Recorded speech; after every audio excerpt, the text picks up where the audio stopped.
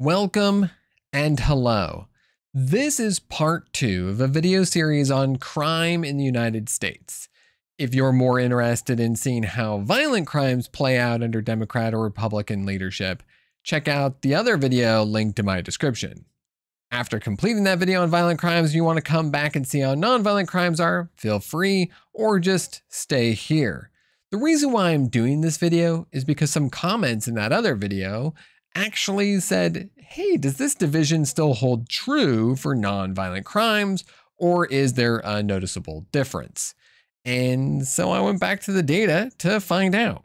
As a quick overview, I'm using 2022 crime data from the Crime Database Explorer, which is available to anyone. Uh, the reasons why I use that year and not this year is because the 2022 data is reported as being the most complete, and midterms happening just right around then as well gives a good sense of the sentiment in each of the states. I'm also using House representation to stand in for the kind of local perspective, and Senate reps are more statewide sentiment, while governors are guidance to kind of how enforcement plays out. All this to answer the big question is there actually a difference between Democrats and Republicans when it comes to the policies they generate and how it holds up with crime? And I know there's other articles on this, but I kind of wanted to do it differently and more deeply than they did uh, without being partisan about it. If you want, check out the description for more information on what was done to compile this data, what was included, what wasn't, and how I looked at it all. Keep in mind, for all of this data, the way you should read the graphs is should Republican and Democrat elected officials be just as bad for crime rates as each other, you'd expect to see them both at 100%. As a result, that means that over 100% means that that party is overrepresented in that crime, which is bad for them. And if they're under 100%, that's good news for them. Let's dig in. Arson is to unlawfully and intentionally damage or attempt to damage any real or personal property by fire or incendiary device. Republicans show up on this one by only having a 96.6% of what would be expected, which is good. And Democrats are overrepresented here at 104.6%, which is bad. So Republicans take this one pretty easily. Burglary is defined as the unlawful entry into a building or other structure with the intent to commit a felony or a theft. I was actually a bit surprised here because I immediately assumed uh, that due to Republican states having more guns or more guns per capita or more friendliness with guns, this number would be a shoe in for Republicans. But it actually wasn't.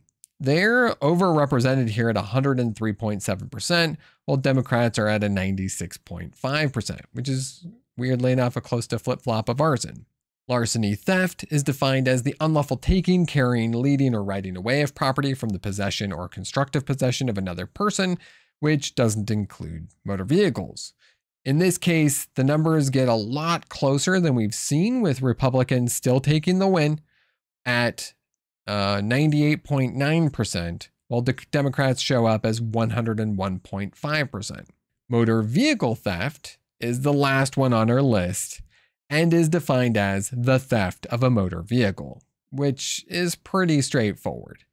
Republicans are significantly underrepresented here, meaning pretty good for them, right? You're less likely to have your car stolen at 93.2% and Democrats are overrepresented at 109.7%. Now, I'm going to reiterate from my last video. We need better tools. That's the simple fact of the matter. Submitting information to the Crime Database Explorer is not mandatory, and it should be. Law enforcement agencies are already tracking these crimes, and if we want to really do something about it, all of that needs to be in one transparent place where people can do analysis on the data. What I'm interested in at this point after doing both the violent crimes and non-violent crimes is what does this actually mean? What states or leadership can we look to for compelling lowering of crime? It would seem at this point that if we want to lower violent crimes, we'd follow Democrat policies and leaderships. And if we want to lower violent, uh, non-violent crimes instead of violent crimes, we want to elect more Republicans. If this was literally all the data we had, I'd have to side on electing more Democrats personally because the variation in crime representation in the violent crimes was much wider than here in the nonviolent crimes. And I'd be willing to have say, a few more non-violent thefts to avoid, say, rape and murder. It just isn't that clear that either would go down with just changing our elected officials and subsequently the laws of each state. I would say this isn't enough. So, my next step in this process is going to go down an analysis of each crime, look for the top five best states for that crime, meaning the lowest crime rate, and then see if there's any trends that can be pulled out from how that state does enforcement, laws, uh, crime, uh, um, large, you know, imprisonment amounts, economic data, anything else that I can find so that we can sort of see if there really is a partisan line when it comes to crime.